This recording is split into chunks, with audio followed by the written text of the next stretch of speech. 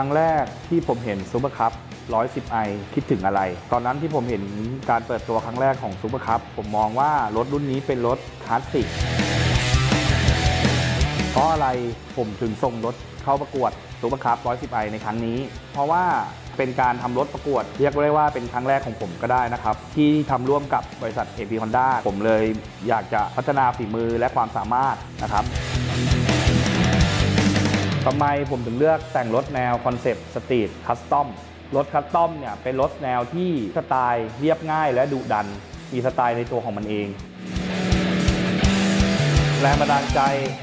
ที่ทำให้ผมแต่งรถแนวนี้ก็คือผมได้ไปเปิด Google ดู แล้วก็เลือกดูรถสาย custom ดูรถดูรูปตาม Google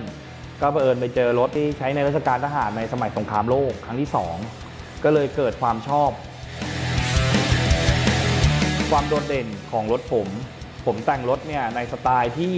ออกเป็น custom modern นะครับผมก็จะเน้นไปที่ระบบที่ทันสมัยเป็นในยุคของดิจิตอลนิดนึงนะครับ ก็คือเช่นเรือนไมล์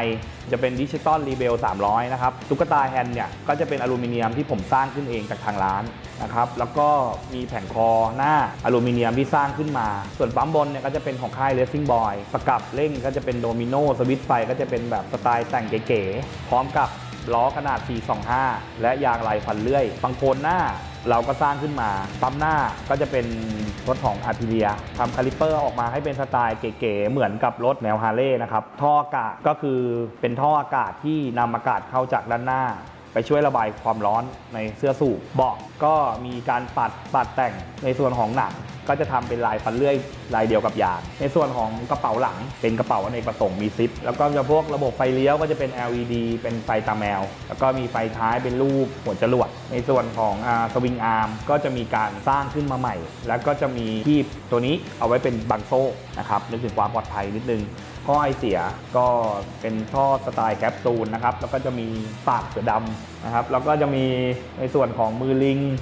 ก็จะเป็นงานแต่งอลูมิเนียมของทางร้าน แล้วก็คันเบรกคันเกียร์พวกนี้ก็จะมีการทำลูกเล่นเข้าไป โช้คหลังก็คือเป็นโช้คหลังสร้างของทางร้านเอง ส่วนอะไหล่ H2C ก็จะมีด้วยกันอยู่5รายการ ก็คือจุ๊บลม แก๊ปไฟหน้า แก๊ปที่ผมติดใหม่สายรัดของอยู่บนแฮนด์เพจโลโก้ Super Cub สี ผมเลือกในโทนสีเขียวด้านผสมผสานกับเทา Lambo เป็นคลาสสิกเรโทรในตัวของมันลงตัวในสไตล์คำว่าคลาสสิกครับ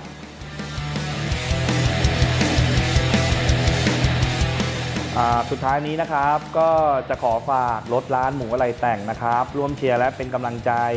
ในการประกวดครั้งนี้ด้วยครับ ขอบคุณครับ